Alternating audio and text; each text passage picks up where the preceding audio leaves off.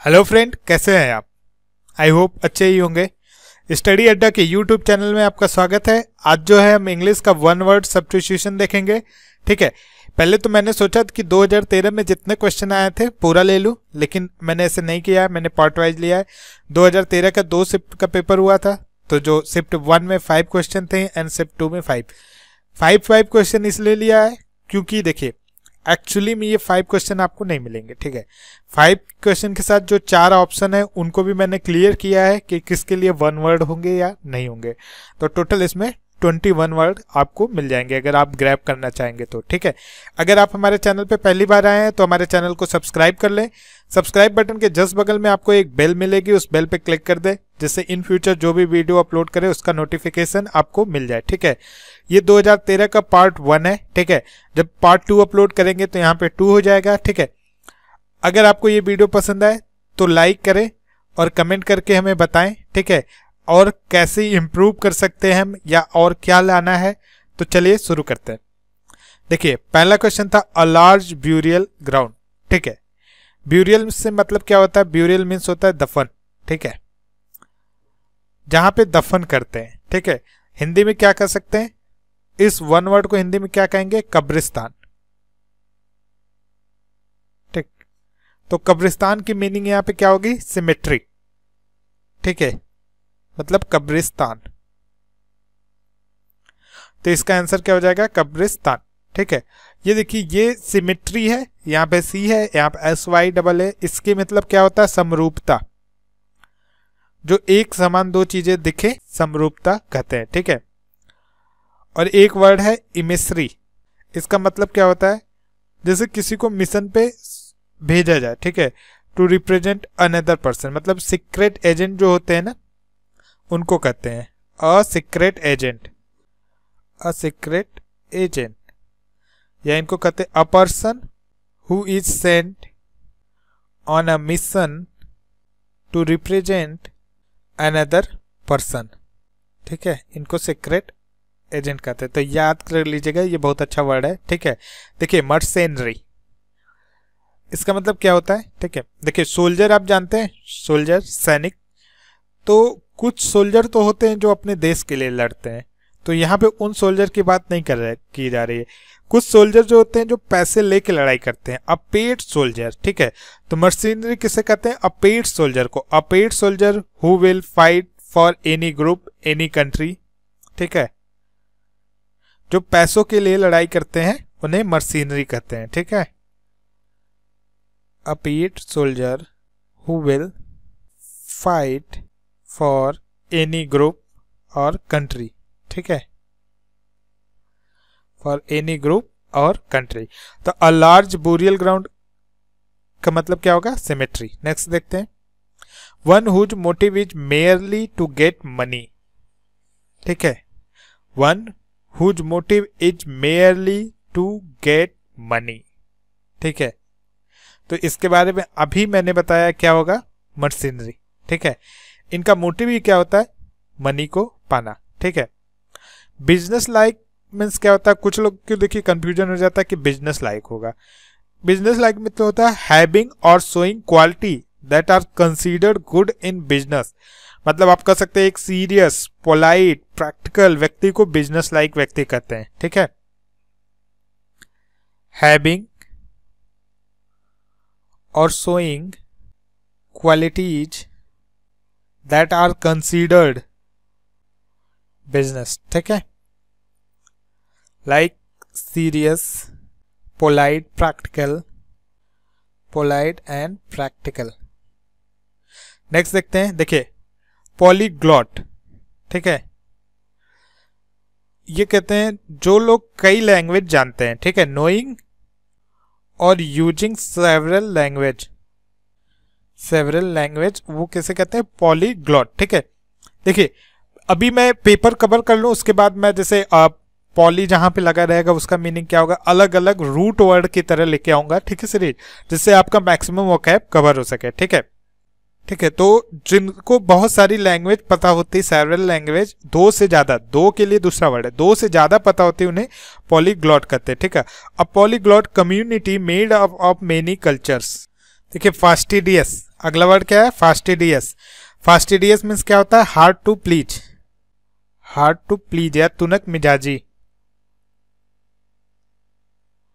ठीक है? इसको पुराने जमाने में क्या बोलते थे? स्कॉर्नफुल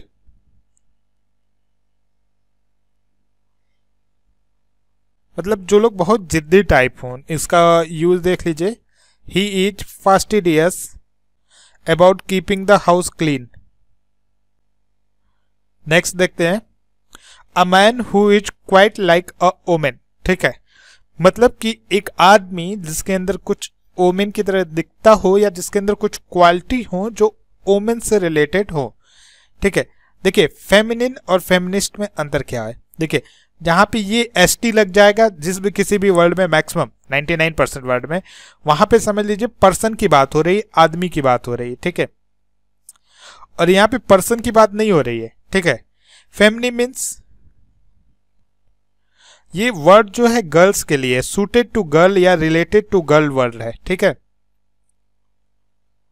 सुटेड टू गर्ल या रिलेटेड टू गर्ल वर्ड है, ठीक है? फेमनिस्ट मीन्स अब एक पर्सन आ गया, वो चाहे गर्ल हो या चाहे बॉय हो, चाहे मेन हो, चाहे ओमेन हो, ये नारीवादी से रिलेटेड है, ठीक है? इसको क्या कहते हैं? नारीवादी, जो औरतों को सपोर्ट करता है, वो पर्सन फेमनिस्ट कहलाता है, ठीक है?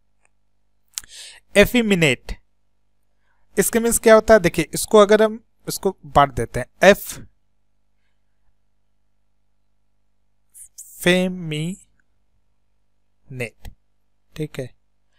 एफेमिनेट फेमिनेट मतलब किसी को बुला रहे हैं, किसी आदमी को, कैसे? ए फेमिनेट मतलब a having or showing a quality that are considered more suited to women than to men तो इसका आंसर क्या होगा? ए फेमिनेट ठीक है?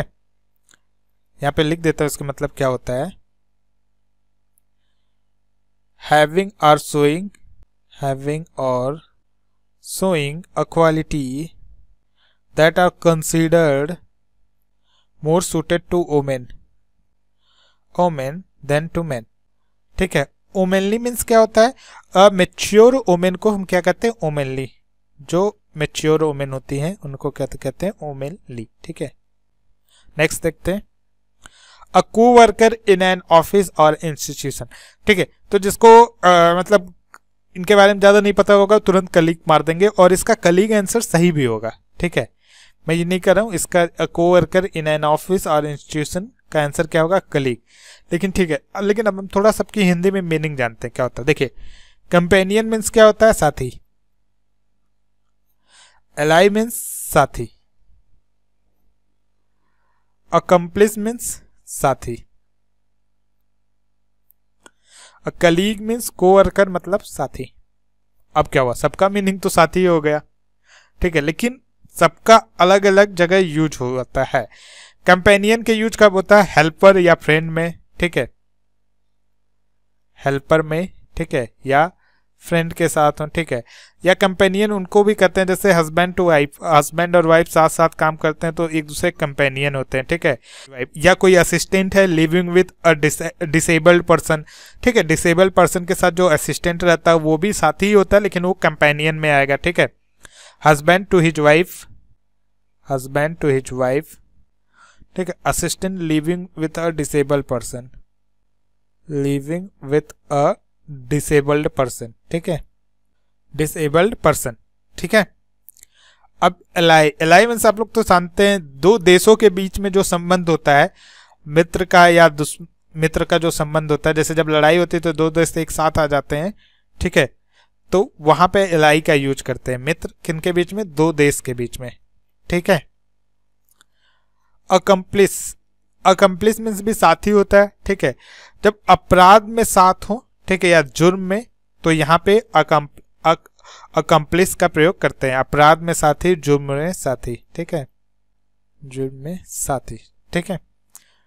कलीग कलीग तो हो गया a coworker in an of office or institution ठीक है? एक चीज़ देखिए। एक वर्ड होता है पीर। ये भी कलीग से काफ़ी मिलता जुलता वर्ड है। देखिए, दोनों में अंतर क्या होता है? जैसे एक ऑफ़िस है, ठीक है? अब इस ऑफ़िस में अगर आप यहाँ पे एक डिपार्टमेंट में काम कर रहे हैं, कोई इस डिपार्टमेंट में काम कर रहा है तो वो आपका कलीग कहलाएगा। मतलब एक ऑफ़िस के अंदर किसी भी डिपार्टमेंट में कोई भी कहीं भी काम कर रहा है, वो कलीग कहलाएगा। लेकिन पीर कौन कहलाएगा? जो आपके साथ किसी तरह कनेक्टेड हो। मतलब या तो आपके साथ काम कर रहा हो, या तो उसकी सैलरी आपकी सैलरी सेम हो, ठीक है? या तो उसका पोजीशन जो डेजिग्नेशन है, आपका डेजिग्नेशन जो है सेम हो तो वो आपका क्या होगा? पीर होगा। ठीक है? नेक्स्ट क्वेश्चन देखते हैं। To supply land with water by artificial means ठीक है?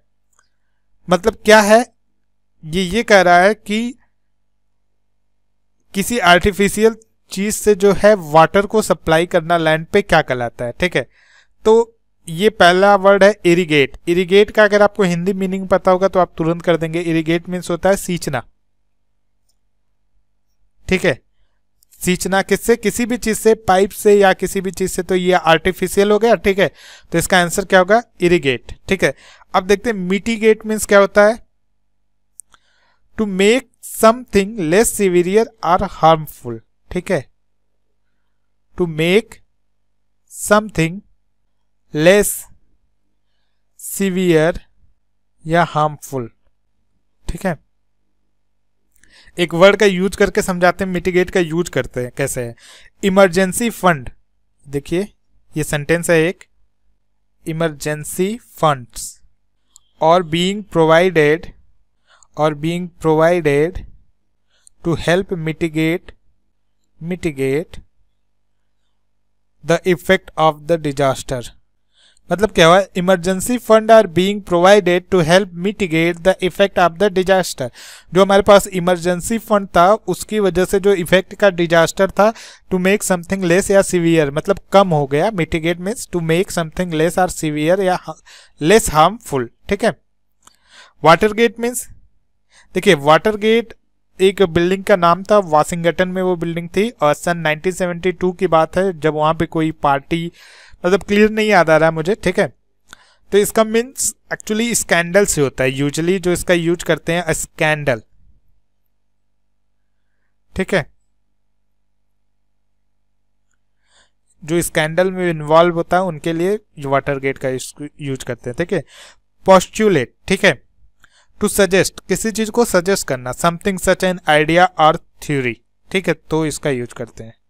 इसका मतलब क्या होता है? To suggest something such as an idea or an theory इसका यूज़ देख लेते हैं। देखिए यूज़ क्या होगा इसका?